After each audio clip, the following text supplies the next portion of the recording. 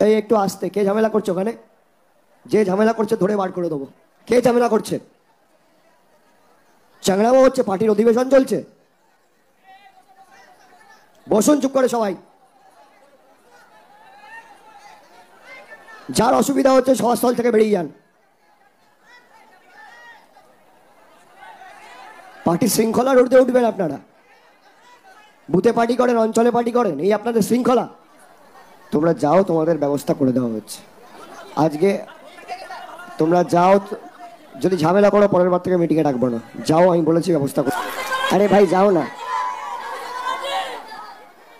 যারা দাঁড়িয়ে আছেন সামনের দিকে বসে পড়ুন। পিছনে যারা আছে, এখানে যারা দাঁড়িয়ে আছেন কি চেয়ার নেই? চেয়ার নেই নাকি? আচ্ছা ঠিক আছে ঠিক আছে। দশ বছর, বারো বছর ধরে আপনাদের যে আক্ষেপটা ছিল, যে আমাদের কথা শোনা হয় না আজকে আপনাদের কথা শুনতেই আমি এখানে এসেছি এবং আপনাদের মতামত সংগ্রহ করতেই এসেছি। আপনারা যাকে মান্যতা দিয়ে আপনারা চান যে এই পঞ্চায়েত সমিতিতে দাঁড়াক বা এই ভদ্রলোক বা ভদ্রমহিলা গ্রাম পঞ্চায়েতে দাঁড়াক, তৃণমূল কংগ্রেস তাকেই দাঁড় করাবে।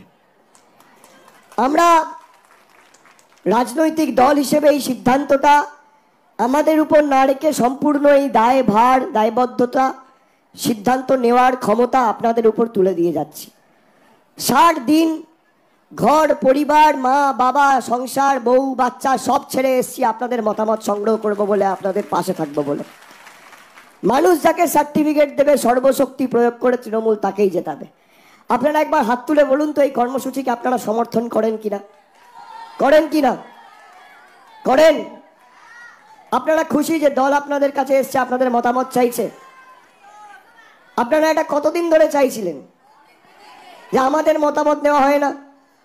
বিজেপি আর মোদি যদি ভাবে যে এদেরকে ধমকে, চমকে ইডি আর সিবিআই দিয়ে লাগিয়ে দমিয়ে রাখব, যত ইডি আর সিবিআই ঢুকবে, তত আন্দোলনের ভাষা তীব্রতর হবে, তত আমাদের জেদ বাড়বে।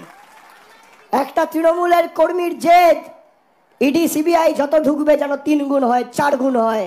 যে আমার বুথে আমি যদি একশোটা ভোটের লিড দিয়ে আগামী দিন দুশো দেবো, তিনশো দেবো, আগামী দিন নরেন্দ্র মোদী যে ভাষায় বোঝে আমি সে ভাষায় জবাব দেবো। ছলে, বলে, কৌশলে, যে করে হোক বাংলার মানুষকে পাতে মারতে হবে। আপনারা একবার বলুন তো, আপনারা চান আমরা দিল্লির বুকে গিয়ে ভিক্ষা চাই? কেউ চান? কেউ চান আমাদের অধিকার? এটা আমাদের অধিকারের টাকা, ঠিক কথা বলেছে। কারোর পৈতৃক সম্পত্তি না, কেউ ভিক্ষা দিচ্ছে না। এটা আমাদের টাকা। আর আমাদের টাকা আমরা নিয়ে ছাড়বো, তুমি কদিন আটকাবে? এক কোটি মানুষ যদি চিঠি লেখে আর দশ লাখ মানুষ যদি দিল্লির বুকে যায়, কোনো নেতা মন্ত্রীর ক্ষমতা নেই।